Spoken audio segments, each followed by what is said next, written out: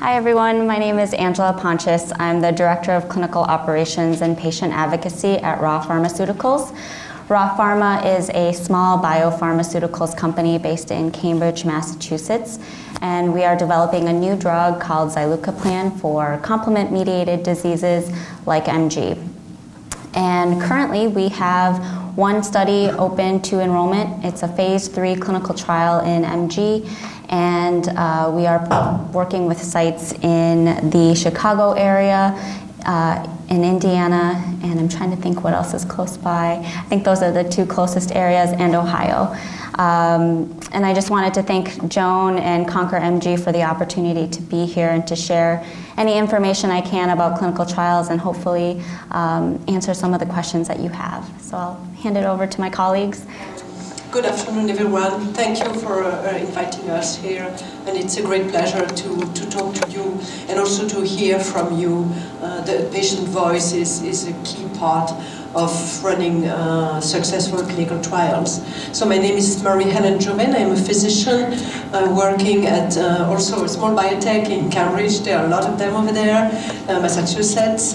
Um, I'm not a neurologist, but I am an immunologist, and as you know, yeah, myasthenia gravis is, is an uh, immune disease. Um, we are really focused on, on immunology and immune diseases, so we are running a number of programs for various uh, autoimmune diseases and also other diseases that are not uh, autoimmune. And I would be happy to answer any question you have at any time um, and to hear from you. Thank you. Hi, so I'm Amy DeWorth. I also work with Momenta, um, and I'm the clinical site liaison. So I am tasked with going out and I meet with support groups and I support our research sites. So we also have research sites. We're conducting a phase two study, um, also in the um, Chicago area. Um, and so we love to get input as we develop protocols as we move forward. So we look forward to your feedback and providing information about the study that we're currently enrolling. And connecting our research sites with, with interested participants. So thanks for having us. We're so glad to be here. Hi everyone, my name is Jenna Casey. I'm a medical research liaison with argenx. Here, I'll move up here so you don't all have to turn your head. Um, argenx is a clinical stage biotechnology company that is based in Ghent, Belgium. However, we do have an office in Boston, Massachusetts. Um, my role as a medical research liaison is to act as an extension of our home-based medical affairs team and we work with healthcare professionals and support groups such as yourself in the MG community. And so right now we do have a phase three trial with our lead investigational agent, efgartigimod, that is a global multi-centered uh, clinical trial and uh, yeah, it's a pleasure to be here and like everyone else, we look forward to learning from you all. Thank you. Okay, so uh, thank you so much for the opportunity uh, for me to be able to just tell you a little bit about Ra Pharma and Zilucoplan. So as I mentioned earlier, Ra Pharma is developing Zilucoplan in uh, rare complement-mediated diseases like MG, we're also studying zilucoplan in other diseases like immune-mediated necrotizing myopathy, which is under the myositis umbrella, and also ALS. And a few things that we have currently in preclinical studies, so not currently in the clinic, um, we're looking into an XR formulation of our drug, so a complement inhibitor that would be dosed um, less frequently, so once a week or even less frequently, and also an oral complement inhibitor as well. So I wanted to tell you a little bit about zilucoplan, which is a self-administered subcutaneous macrocyclic peptide which inhibits the complement C5 what does that mean? so, um, as Dr. Malik mentioned, complement is part of your innate immune system. Its job is to basically destroy bacteria or foreign bodies that come into your system. And um, one of the things it does is kind of like punch holes in those foreign body walls or cell walls, and it destroys them. So that's when it's working properly. In MG, uh, it unfortunately gets inact- inact- inappropriately activated and um, causes the same destruction at the neuromuscular junction, that area between your nerve cell and your muscle cell. So here, uh, what we're showing is uh, the complement uh, system. And what I'm going to talk about is a classical pathway. And in that pathway, there's all these different proteins involved. They're all labeled C1 through 9. I know someone had a really creative way of naming them, but um, what we're going to focus on is the C5 protein. So what happens when uh, in complement is C5 um, actually when it get, when complement complement gets activated, C5 cleaves or breaks into two proteins, C5a and b. And C5b says, well, I'm going to join up with my friends C6 through 9 and form kind of like link up and form this hole. And within that hole is um, the that's what causes that destruction. And what zilucoplan does is it binds to C5, so it prevents that cleavage or that splitting to happen, and um, that we inhibit complement from happening. I'll um, ask question ask for questions in a little bit. okay. Um, all right.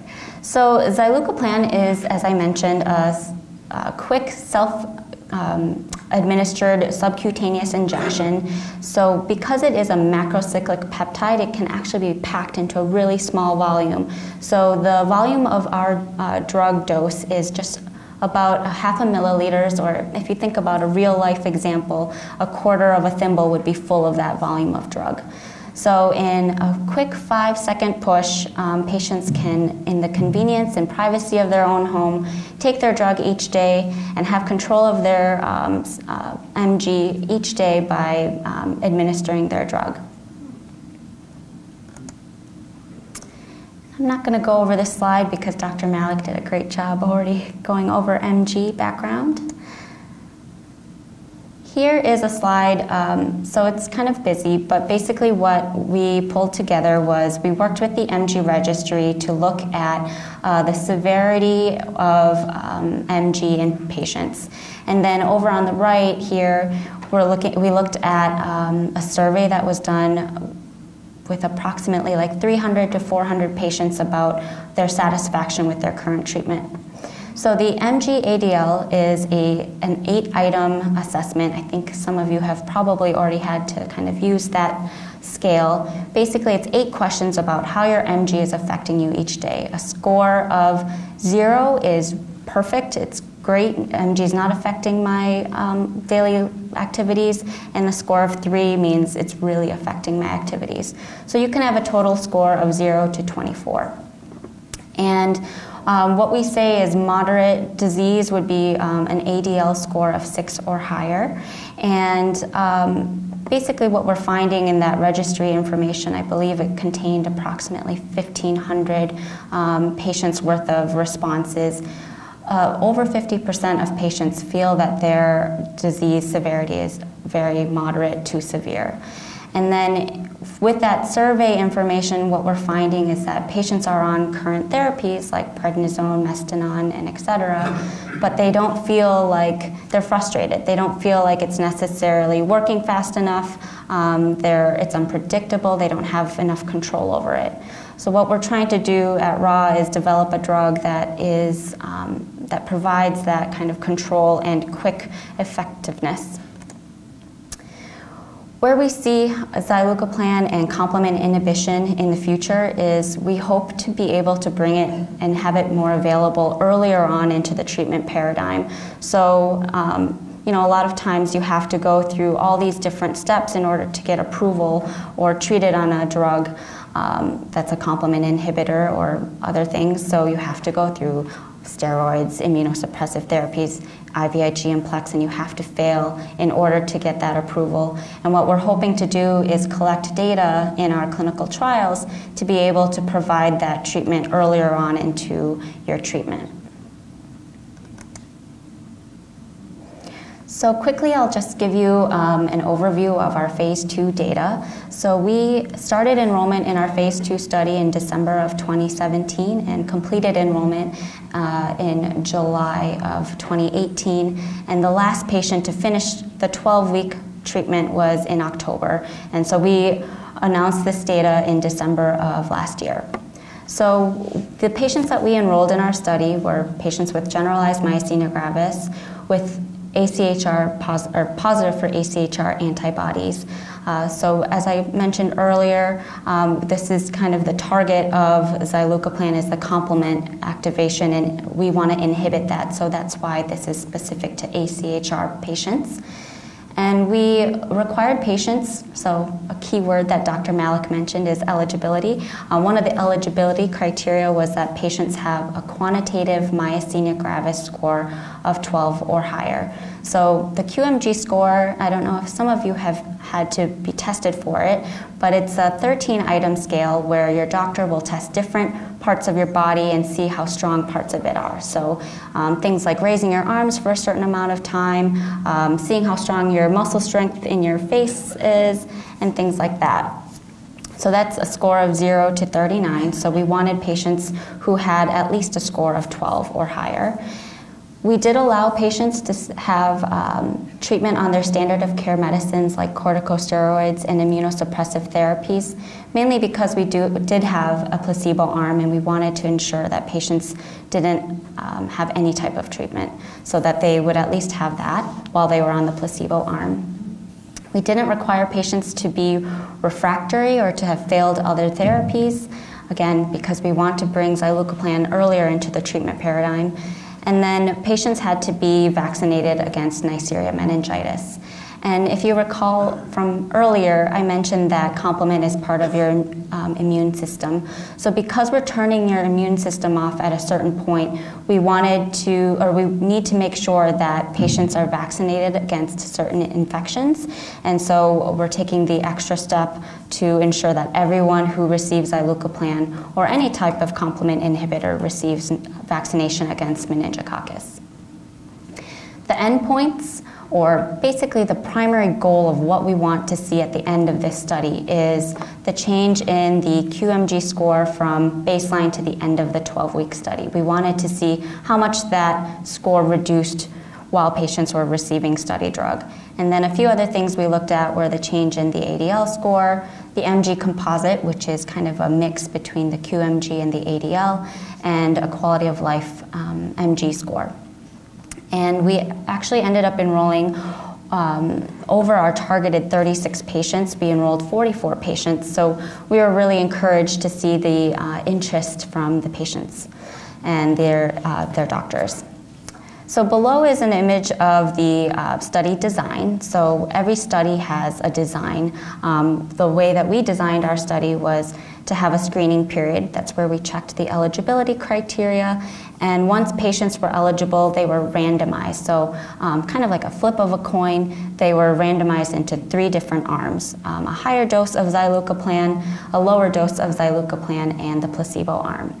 So, for 12 weeks, patients self administered their drug at home, and then after the 12 weeks, they had the option to continue into an open label extension period where they, everyone received zilucoplan. So I'm not going to go over this table in detail um, and bore you, but basically these are the baseline characteristics of our study population. So what we found was that even though a lot of patients were already on um, standard of care medicines like pyridostigmine, corticosteroids, and immunosuppressive therapies, their QMG score was still very moderate and to high, so an average of 18 to 19 across all patients. So um, I think that just kind of goes to support that uh, slide I shared earlier, where patients are on other treatments but still feel like there's it's still not exactly what they need or want. Um, this one is the most exciting slide for me to share with you. So this is the result. These are the results of our study. Um, so the it's a little busy, but let me walk you through it. It's um, showing the top is the QMG score, so the change from the beginning of when patients didn't receive our study drug till the 12-week period ended. And then um, in the, uh, the bottom is the ADL score. So the blue line represents placebo patients, and then the red line represents patients who are on our high dose um, zilucoplan. And what you see is that even within one week, you see a big drop of their QMG score, which is a good thing. A drop, uh, a reduction in your score is uh, means that patients are feeling stronger and um, they're testing for um, a stronger muscle strength. And we saw that this continued over the 12 week period. And then what's interesting is next, what, uh, how the placebo patients also responded. So again, this is an average, but placebo patients who entered um, the long-term extension and received high-dose zilucoplan also had a similar effect where their score dropped immediately and continued to improve. And we see similar effects and results in the ADL score and also on the next slide um, in the MG composite and the quality of life score as well. So the blue line is placebo, high dose is the red line, and then this shows placebo patients tra um, transitioning into the high dose group, and then the high dose group um, continuing into from 12 weeks into their 24 week visits. So I think that's all great and everything, but I think probably for you as patients, you're wondering, well, what about the safety and tolerability? So what was really encouraging to us is that um, no patients in our high dose group required rescue therapy with IVIG or PLEX while they were on the 12-week study. Three or three patients or 20% of patients in the placebo arm did require that. And then in terms of any serious side effects or serious adverse events, uh, we didn't have any that were deemed related to the study drug. And we did have a few common related adverse events or side effects, um, like nausea or headache, some injection site reactions. Um, it is an injection, so um, we did expect to see some of that, but all of them were mild, and um, the only one that was moderate was actually in the placebo arm. So within that study, we still have not seen any infections with Neisseria meningitis. So all of our doctors are doing a great job um, giving those vaccine boosters. And um, all of our 44 patients completed the study. We didn't have anyone come off the study early. And 42 out of 44 patients decided to go into that open label extension.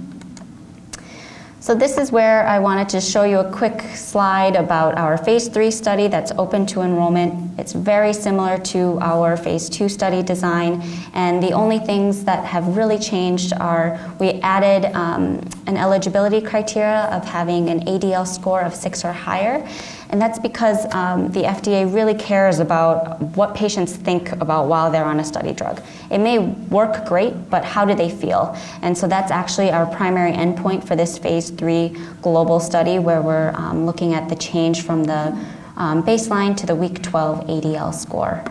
And that's all I have for you today. Thank you.